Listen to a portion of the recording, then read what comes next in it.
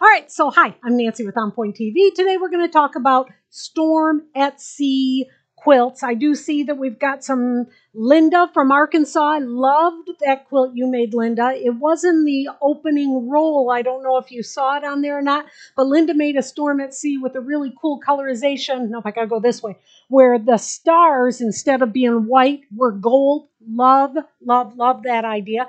I see that we've got somebody from Oregon and New Jersey and just a great hello in Southwest Ohio.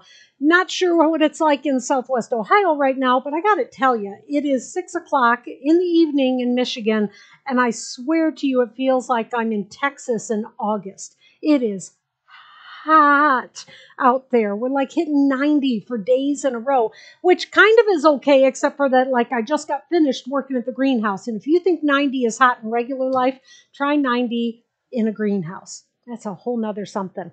Hello from Virginia and Iowa. A couple of you from Iowa. Hi, you guys from Iowa. So, we're going to do Storm at Sea today. The one behind me, the red, white, and blue one, is in process. The reason I'm concentrating on Storm at Sea today is because my quilt guild, the West Michigan Quilters Guild, um, is planning their quilt show for April 1st and 2nd of 2022. And our raffle quilt will be a storm at sea, the one that you see behind me. Now, the reason that we're doing it a storm at sea every time we do a different quilt and stuff, but is because our quilt show is going to be kind of centered on quilts of valor, honoring our veterans. So different people in the guild who have been veterans and our veterans home and family members of guild members, we're going to do the whole presentations and stuff of the quilts as you go, the quilts of valor quilts, which are obviously all red, white, and blue. And so the one behind me will be one of our raffle quilts. So our bees always make quilts too. Um, New Zealand, yeah. Oh, it's 10 a.m. and freezing. Yeah, that sounds really nice right about now. okay. Oh my goodness, everybody's talking. Yeah, it's hot in Ontario. All right, and Pennsylvania. Hello, everybody. All right, so the storm at sea. This is the storm at sea pattern that I just finished writing earlier this week it has two different sizes. So it has the patterns, the um, the paper piecing, there you go, the paper piecing templates for the large size and for the miniature size. I'll talk to you a little bit more about the coloring on the miniature size. I was not happy with the way that turned out, and I'll show you um, what I maybe could have done better with that. But for those of you that are Quilt Addict members, you should already have gotten this in your email. It comes as an e-pattern. So if you're a Quilt Addict member, that means that you get every pattern that I make, you get it before everybody else. So I sent it out yesterday. Now, if you are a Quilt Addict member and you did not get this in your email, that means I don't have your email. There are two people on that list. I don't have your email. I would love to start sending you all of the books that you should have gotten up till now but I can't because I don't have your email. So if you're a Quilt Addict member, please send me your email. Send it to quiltingwithnancy at gmail.com. Also, if you're an any member at all, a beginner member, a design level, or an addict member, um, be sure I get your email. If you have not gotten the invite to be um, part of the Facebook Quilting with Nancy members only page, and you want to, then go ahead and send me your email. Um, if you're a design level, then you also need to send me your email so I can send you the Zoom link because we do a Zoom class once a month on how to use electric quilt. Um, somebody just said, Jim just said that it hit 100. It's just really, really hot in this whole area right now. Um, um, not that I'm wishing for spring by any means, but hot is hot. But I've been working in my sister's greenhouse. 90 in normal life is hot. Get in a greenhouse and it's 110, just like that. It gets really hot. So we're going to start with the storm at sea. So before we start, I want to talk to you about what tools I use. So the tools that I use, we're going to start with the paper. I love the papers for foundation piecing by that patchwork place, which is Martingale. They're a publisher. You've probably seen um, lots and lots of their books. This is my favorite paper. Why this paper? Because it makes it possible and easy to tear off as much of the paper as possible. So it also goes through your copy machine. So let's say that you get the book and you get the book and you want to make your copies. So let's see. Let me see where it's at. There we go. You want to make the copies? You can just click on the PDF that you get when you purchase the book and say, I want to print this page, page 17, right onto your foundation papers. And I've also told you how many you need to um, print for each one of the quilts if you're making the queen size, the twin size, the mini, or the crib. The second tool is the add a quarter rulers. Let me see, can you read that? I don't know if you can. Let's try it this way. Uh, nope, you still can't read it. It's etched into the ruler and it says add dash. Oh, now you can add a quarter. There you go. Before the add a quarter ruler, I hated paper piecing because it was so messy and it was so inaccurate and just everything about it. Really, really hated it a student, and this was 25 years ago or so, introduced me to the, I think it was that long, introduced me to the original add a quarter, which is a six inch. Today I'm going to use both the six inch and the 12 inch. The entire project can be done with the six inch. The 12 inch just makes it a little bit easier. Then there is the big 18 inch, and I got to tell you, I haven't used it yet. As you can see, it is still in the package. But my Learning to Quilt 2 series is going to have a Mariner's Compass right in the middle of it. And that is going to be when I'll be using this big one. Then there are some other ones. Now there's an add a quarter, the new add a quarter plus has a tapered edge. And I don't know, it's probably there. Hey, all right, you can see it. There's this tapered edge. I'm going to show you different ways of folding on the paper. And with the tapered edge, then that just makes it a little bit easier. Now these are both the add an eighth. And what that means is that there's a little ledge that I'm going to show you how to use that is only an eighth of an inch wide. This one obviously is a quarter of an inch wide. Why would you need to have an eighth of an inch wide? For if you're doing a miniature quilt. Now, for the little purple one behind me, I did not use the add an eighth. That wasn't necessary. The seams were not small enough that I needed a smaller than normal quarter inch seam allowance. But when I made this quilt, this quilt is a pineapple Lone Star. And this little pineapple section in here, whoops, I'm seeing myself backwards, like pointed in a mirror. Let's try that. Those are just a smidgen bit over an eighth of an inch. So when I made this one, which was done in paper piecing, I did use the add an eighth. So that's why you may or may not need to have one of all of these, maybe just one, maybe five, I don't know. Just know that they're there, all right? So to start with, let's get ourselves organized here. We're going to start, oh, the other tools. I'm going to be using UHU glue stick. UHU is an acid-free glue stick. I know there's lots of glue sticks on the market. This is just the one that I like best. It seems to do what I need it to do when I need it to do it and hold as much as I want it to hold. Then I'm going to use a smaller than normal. I'm going to use the 28 millimeter rotary cutter. This is the um, 60 millimeter. Normally I use a 45. This one is a 28. And for paper piecing, this is the best one to use. Um, probably going to need a seam ripper. This is Acorn Precision Piecing Products. This is the Seam Align Glue. I'm going to show you why you may want to use this. You may not want to use this, but for people that struggle with the placement in paper piecing, I think this is really, really nice. Now, somebody asked me last time, would it be the same as using Roxanne's glue based? The Roxanne's glue um, dries a little bit slower. This one dries quicker than the Roxanne's, but the Roxanne's is stronger, which is why I want Roxanne's for the re, for the applique and the Celtic designs and things like that that I use the Roxanne's for. So the precision seam align line seam align glue is just perfect for things like this. I had a student just the other day that was, we were working on a Lemoyne Star and she was having trouble getting the two little points to line up. And one of the other students said, Hey, Nancy, how about? And I was like, Oh my goodness, I never thought about it. Made all the difference to her. Everything just kind of fell right in place for her. So the alignment glue, that's what it's going to be for. Okay. Um, hi, hi. Everybody's saying hello, hello from Kentucky. So we're going to start with, and I'm only going to make the large one. I'll talk to you a little bit about the small one, but we're going to get started. So to start with, you're going to take and make copies of your design. So this is the large design, and the largest block is seven and a half inches. You want to guess why I made it seven and a half inches? So it could print on one sheet. There you go. There was my thought process right there.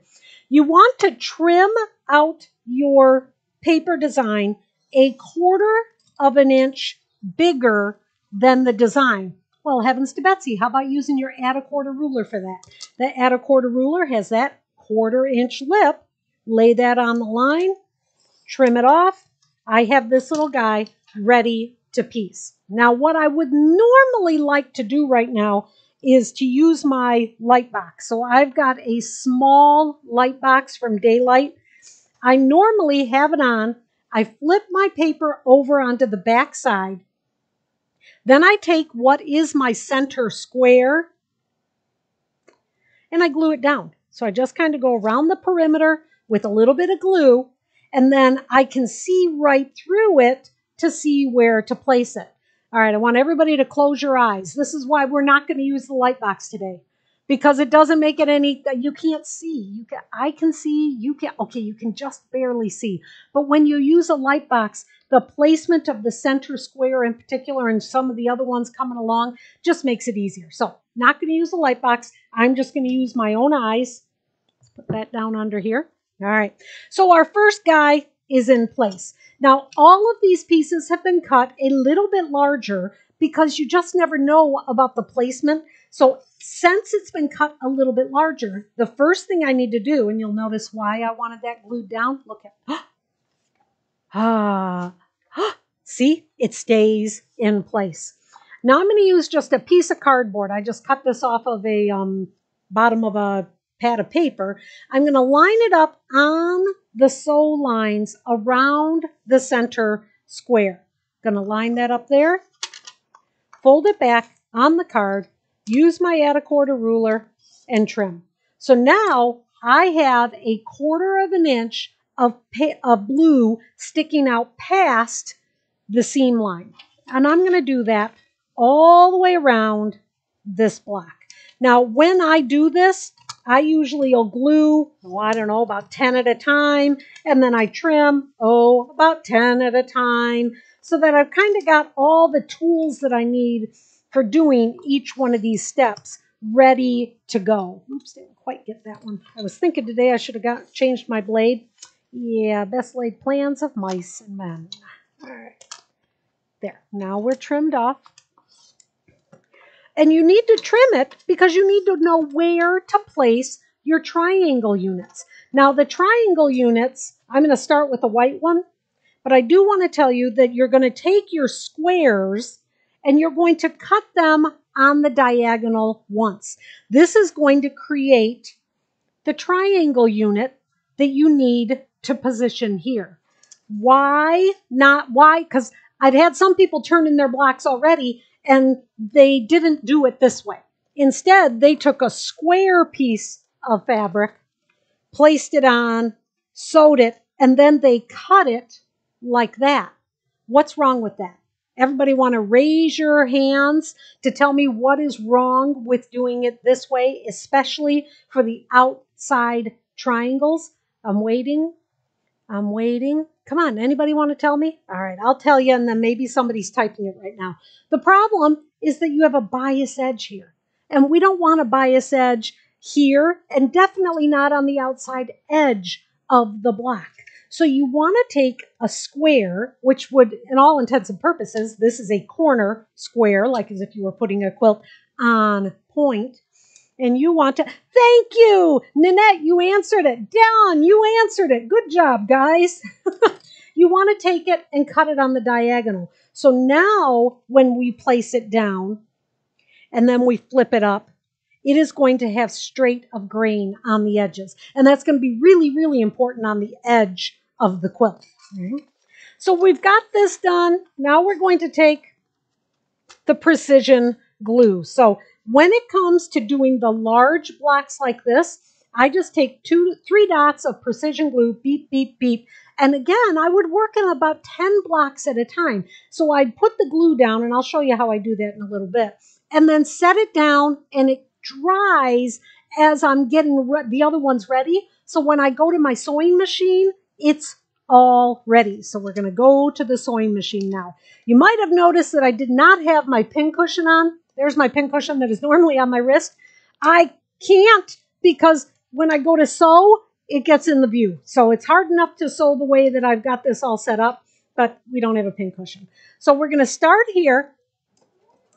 I have set my stitch length up to a 1.5. I also have put on my open toe applique foot so that I can just see a little bit better. Here is my normal foot and there's, you know, the clear plastic in between it. There is a solid line right down the middle, so technically I could place it on the line to know where to go. But I tell you, having the open toe applique foot, I think just makes it easier to see. Along with doing things a little differently when I'm on video, when I'm making the 10 or so that I make at a time of these, I normally chain piece, but I can't do that on video either. It's just too bulky. So right here at this point, if I were doing chain piecing, I would lift my presser foot, I would pull this forward, and then I would start stitching on this next one. But instead, I'm just going to use my thread cutter and cut that thread off. Whoops. Uh, let's try that one more time. Sorry, that was my arm in your face. Now we're taking it back to the cutting surface. Usually when I'm doing this at home too, I'm going to set up everything to be really close to my machine. So I will have, cut these little guys off before they drive me crazy. I will actually have my sewing machine here, and then I will have my cutting surface just to my left so that I can sew, spin, press, cut. Sew, spin, press, cut. And then to my right is where I have my um, my light board so that when I'm trying to get positioning straight, I'll have that right there. So I can joot, joot, joot. Sometimes I'm sitting for so long that my new Apple Watch will tell me time to stand. You've been sitting too long. So yes, probably I've been sitting too long, but just so you know, that's how I do it. So it's very, very convenient. Once you get them sewn down, the next step is to press them open. Now, I like to use my Clover mini iron. For me, this works great. Everything is just going to be laid down perfectly when I use the little Clover. Now, people are right now freaking out, thinking that I'm damaging my cutting mat. I am not damaging my cutting mat. I'm just going over top of it like that, and I've never had that hurt my mat. The other method is to flip it up and try to scrape it or to finger press it. Um, Teresa, just so you know, that really wrecks with your manicure because she mentioned she liked my nails. It also doesn't get these little guys to lay down flat enough. So I like to use my Clover Mini Iron. There we go. Okay. Now, the next step for this block is really quite simple. I do not have to trim off these little ears. See these little ears? I don't have to trim them off. I can leave them right there. When you are doing the smaller block that I'll try and show you in a little bit, then you do have to trim those off. But for the big block, you don't. Now I'm going to use my precision glue. And I'm going to go one, two, three, and place them. Another thing you want to keep in mind, and I've got to draw this for you to see it because you can't see through the paper. This is the design that I'm trying to fit into. See that? And I can see it through the paper, and you know, you can barely just see it down here. It's very important that you line up the point with the point of where the design is going. So making this point be right down the middle of the block is very, very important. So I'm going to glue two down at a time. One, two, three. You know, it's surprising how long this little bottle has lasted too. It's really I mean, it goes a long way. And then you're only using a couple of dots at a time anyway. So I'm going to let that dry a little bit as I show you something. Oops, here we go.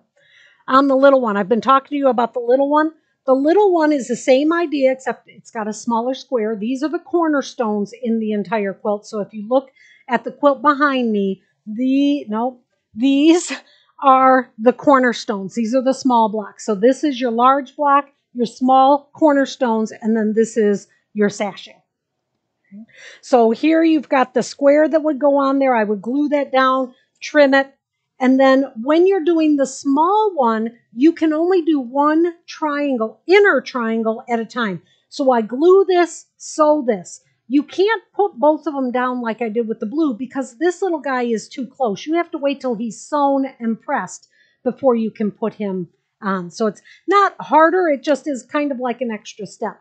And then I mentioned after you get those two on with the little block, you need to trim these little ears off because if you don't, let's see if I can see it.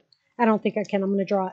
This is your seam line right here.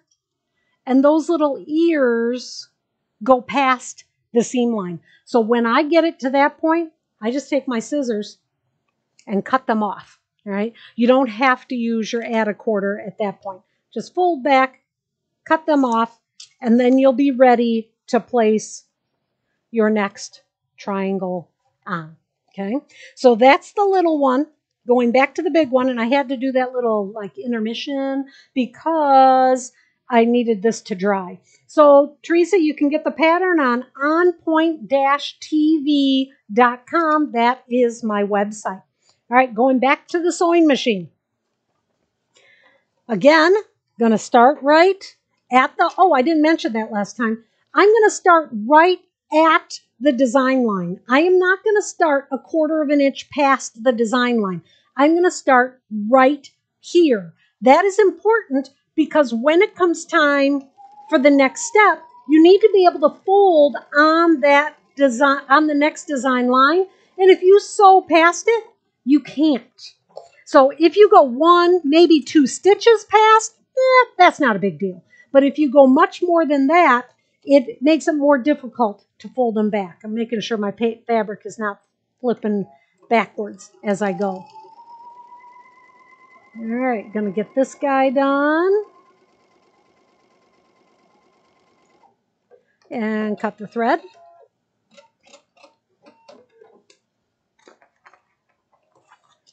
Cut off the threads because I don't know. I hope you guys all cut your threads off as you go. For me, it's a you know short trip to the loony bin if there's lots of threads hanging out all over the place. And it is such a short trip. All right, so here I go again. I'm going to press this over. Now, the next time I sew on the triangles, I'm going to tell you to start off the edge of the design. For these triangles and for any time I'm doing paper piecing, the inside design lines, I start on the line. But when it's an outside design line, I sew off, I start off the edge and I'll show you that. And the reason is if you start on the design line with the edge ones, your the edge of the block is not secured. You'll have all these little guys flopping all over the place. So just trust me on that.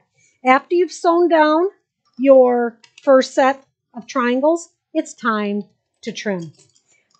Laying down your add a quarter and cut. Laying down your add a quarter and cut. I'm wondering if I have this next step ready. I think I actually do. So I'm going to trim all the way around that block. There we go. So that we will then be ready to put on our next triangles. Now this guy I just pinned in place so you could see him, this guy glued. So you're going to put on the top and the bottom triangle, then you're going to flip it around and you're going to add these two triangles. So this guy is already glued down. This guy, he has a longer seam, so I'm going to put five drops of glue. Ooh, I'm going all out. Going to use five drops of glue. And place that. And again, I'm trying to center him up. So his point is lined up with the design point. And to get that glue to dry just a smidge bit faster, because I'm not doing more than just these ones. There we go. Going to flip him over and go to the machine. So this is where I was talking about starting on the outside edge. For the first triangle, I already did it. I started sewing here and continued down this line. Now I'm going to start here off the edge. So into the design, I'll make sure my fabric isn't flipped wrong. Oh, it was. I might have a tr- I might have a problem here. Uh, let me cut the thread. I'm Houston. We might have a problem. Did I? Oh, nope, I didn't. Shoot. All right. It was just to the point where it was just going to get bunched up underneath. And honestly, you can tell that by just how it feels. When you've done enough of them, you'll be able to feel when your fabric is flipped up wrong. Um, stop. Sorry, I'm using my start and stop start and stop button instead of a foot pedal. And here's my next one. So I'm feeling the fabric underneath, and I can feel that there's not anything bunched up underneath it. Um, you know, some people might want to pin it like off to the side a little bit to make sure that it doesn't get folded up. And, and that's an idea. Honestly, the pins just always seem to get in the way to me. All right. So we are back here. Let me get this guy way, way, way out of the way. All right, I didn't get him very far out of the way. Sorry. Okay. Going to press him now. Now it looks like an economy block, a square and a square block. Lots of different names that it has. This one in most circles nowadays is called a square and a square block, but it used to be called economy block, and that's what some of the people are started to use again. So anyway, to each his own. After I get it to this far, the next thing I want to do is press it with some Mary Ellen's Best Press. I put my Best Press in the spray bottle like this. It's kind of a mister. I'm not going to do it because my iron's on the other side of the room and I can't put it on here. It's too hot.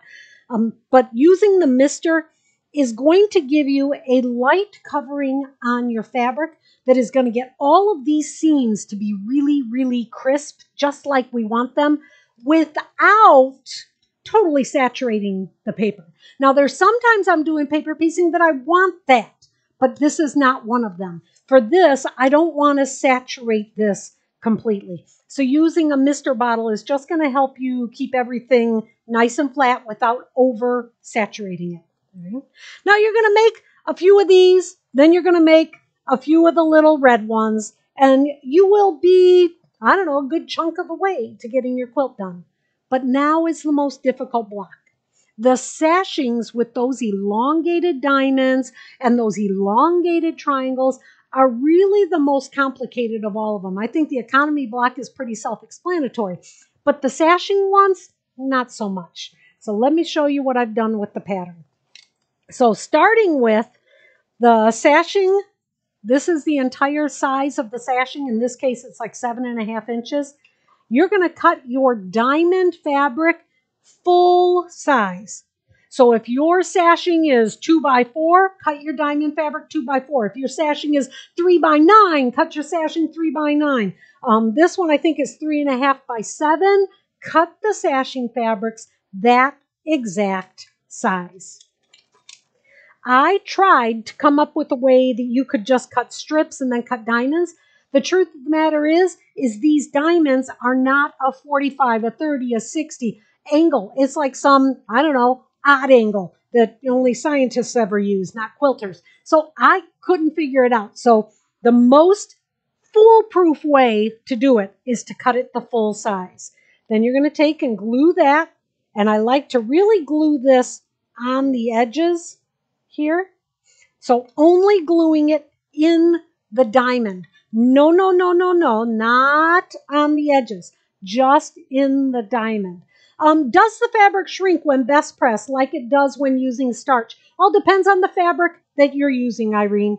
Um, I'm generally going to be using high quality quilting fabric, which in today's world means 11 to 12 bucks a yard when you buy cheap fabric, and I bet you buy the most expensive fabric you can, I'm just telling you that cheap fabric is definitely going to shrink more. And before I usually start pressing things like this, I've probably pressed it a couple times, so it's already done any shrinking that it's going to. But yes, if you're spraying this on heavy, it will shrink the fabric. It kind, you know, when I, if you go back to my Sunset over Dublin quilt that I just did, for that quilt, I pre-dunked all of my fabrics. I took my half yards of fabrics and I pre-dunked them in Mary Ellen's Best Press and then pressed them all so they're almost as stiff as paper.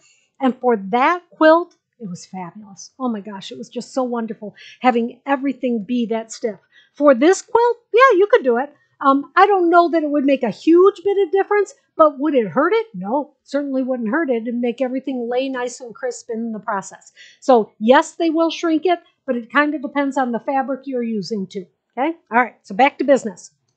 So I got to put more glue on now. So I'm putting the glue down in the diamond area, on the edges of the diamond area.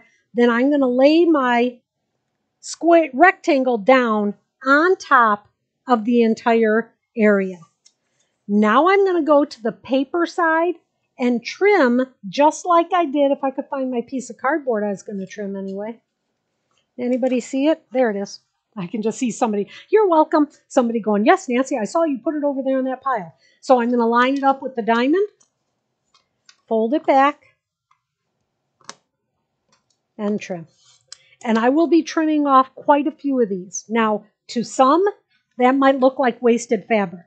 But the truth is, I cannot find another way to do it and get these diamonds the size I need without a lot of hassle and knowing angles that just are not, you know, in my vocabulary.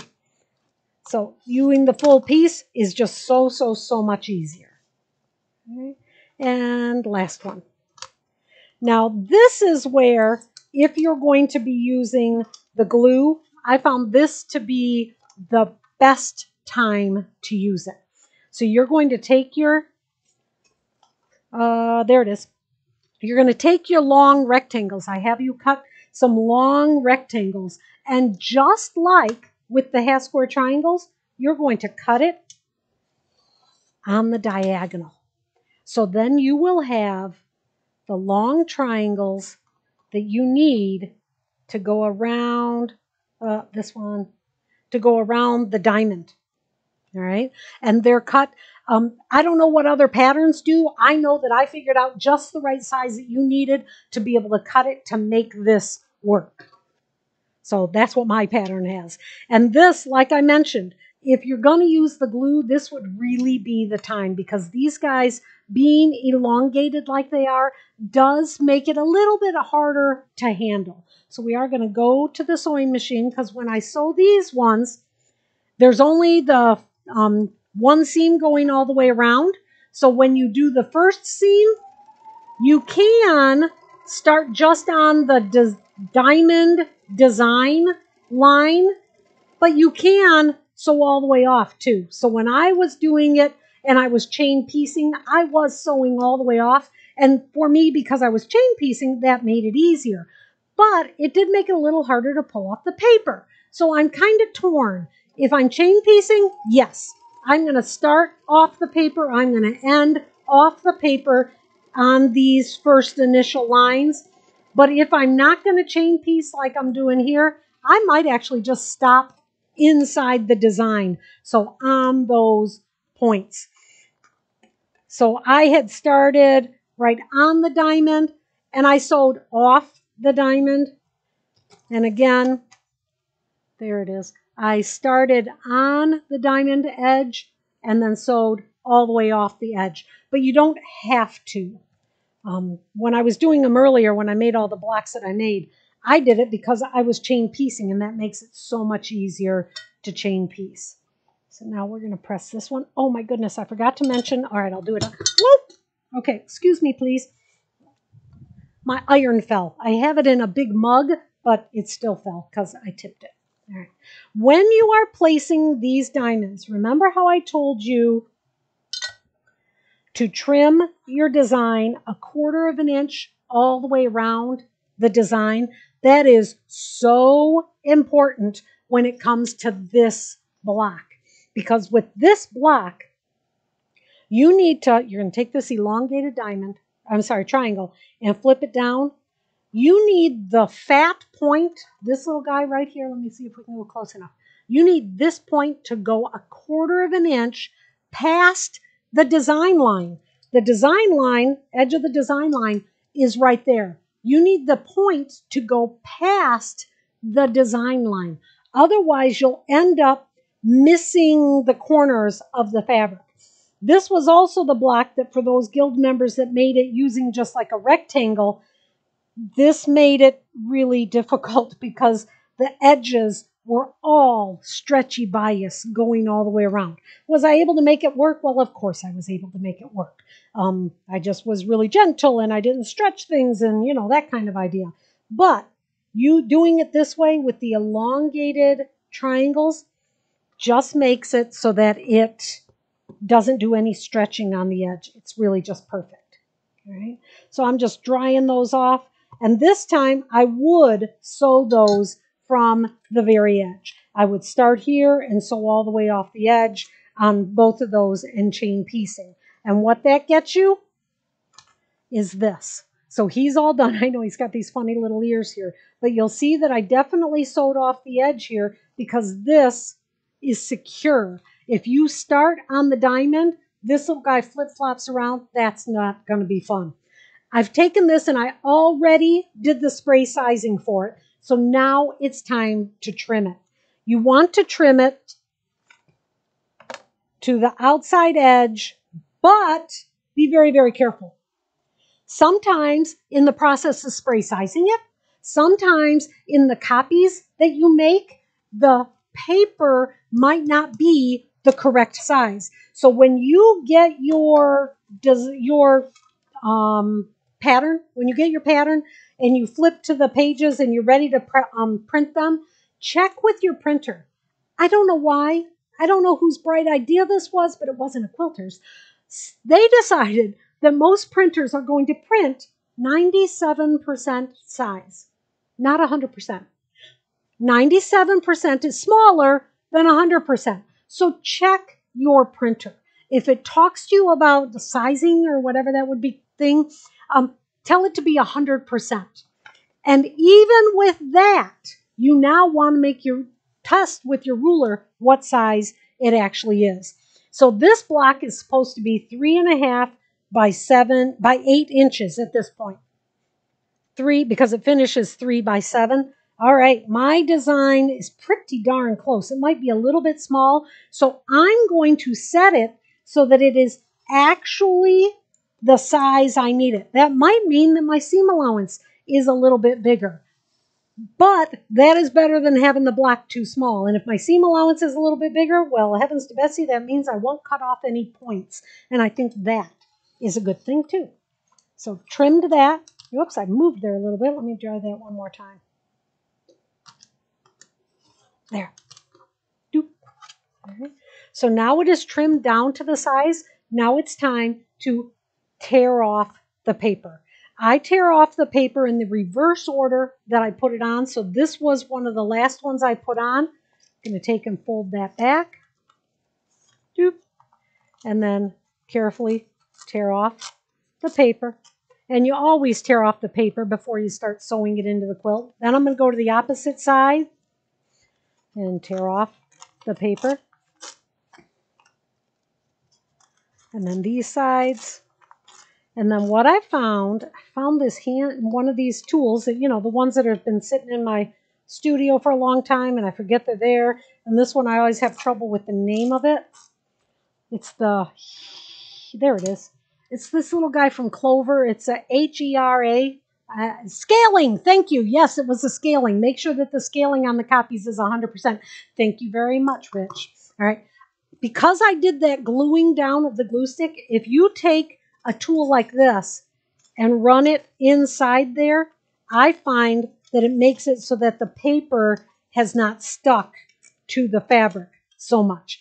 Is it a huge problem if it sticks to the fabric? No, it's not a huge problem. But just using that little tool takes care of it so that it doesn't happen anymore.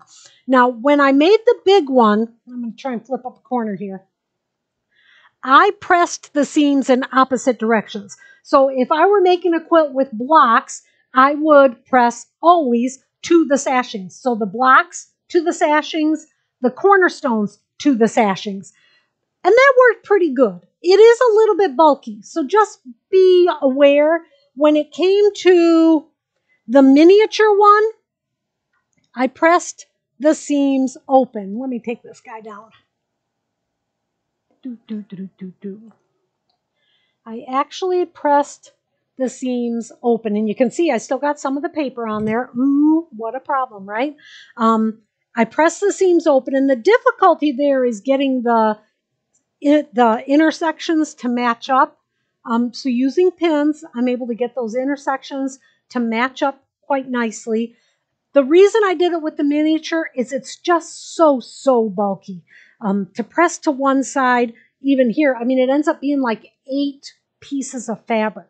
So you might want to consider all of it being pressed open, no matter what size you're making. I don't generally press my blocks open. I don't like that. It's not my favorite method by any means whatsoever. And the reason I don't like it is with the seams pressed open, the longevity of that quilt, I think, is in jeopardy. With a miniature quilt, yeah, it's going to sit on the wall forever and ever and ever. Not a big deal. But with a bed quilt that's going to be used and washed, if the only thing holding that together is those center threads, that can make the longevity of the quilt maybe be in jeopardy. Right? So that's the end of the quilting, the processes for making the quilt. But I do want to talk to you a little bit about the designing of the quilt. So I did, there it is. I did this on electric quilt. So for those of you that are design level members, um, this is the one that I designed on electric quilt. And I want to talk to you a little bit about coloring. So when you look at these, this is the twin size. This is the queen size. And then I did some miniatures. So this is the one that represents an electric quilt. What I made, my little miniature version of it. And it's okay, but look at this next color. Do you see the difference? Look at how this one, you actually can see these moving. Whereas on the previous one, it looks more like a square and a square. That dark purple is just too dark. I shouldn't have done that dark purple there. Here, I swapped it so that the black is in the points of the star and the black is going around the center of the large ones and the small ones. So look at here. This is what I did. I had the black on the outside edges. I had the black in the inside of the sashings. This is what I think I like better. So this would be the colorization that I would maybe go with if I were you. Um, if you are making the quilt and you want a picture of this, I can send you this one. So, but here's some other versions. This is going to be a doll quilt version. And again, playing with the colors. And you can do that in electric quilt before you sew a stitch. And I say that. Do you think that I did this? I did, but I just didn't play with it enough. Because look at how different that looks. Look at how you can see the blue stars now. We go back one. Yeah, you can't really see it as much. But when you did it, when I did it with the white here, here, and here, it made that star pop out. So the light color or dark color here, here, and there. And then here's just some other ones that I played with. I really do like this one too. I love that orange in it. And then this would be the crib size version. And here is another colorway in the pattern, I actually give you a blank one that you can actually do your own color and pull out your color pencils from when the coloring thing was all a craze, and you too can do all of the coloring that you want. So I just wanted to show you that so that you got, got kind of got some ideas on some different color options. The pictures that were at the beginning, if you were here at the very beginning, it was scrolling through. Some of those were ones I made. Some of those were just off of electric quilt. One of them was from one of our viewers, Linda, that made it so that the stars were diamonds. I actually threw her picture in. Thank you very much, Linda. I really appreciated that. Um, so just lots of different options. And with, I think that with the Storm at Sea, the color really makes a big difference as to how much movement you're going to get. So maybe before you start making one, you jump on Pinterest, type in Storm at Sea quilts and be way overwhelmed with the thousands and thousands of Storm at Sea quilts that are out there. So there you go. All set. I hope you like this little one. Um, went a little bit long, but I had a lot of information to give you, a lot out there on different papers piecing and different tools that you can use for this paper piecing and many other ones. If you're looking for any of the tools, um, you can contact firesidequilts.com. So that's my friend Laura, and her email is laura at firesidequilts.com, and you can find that on her website too. So if I mention something and she doesn't have it in stock, just let her know, and bada boom, bada bing, you will have it in stock. Thank you very much for watching. Thank you, those of you who, those of you who are that's hard to say who are members i really truly appreciate your membership if you're interested in membership there is a link below that tells you a little bit more about membership and the different levels and pretty much the long and the short of it is it makes it so that i can keep doing this so if you enjoy my videos and you want to see more of them consider being a member i know it's not for everybody um, but it just does make it possible for me to keep doing what i'm doing Thank you very much for watching and have a great evening.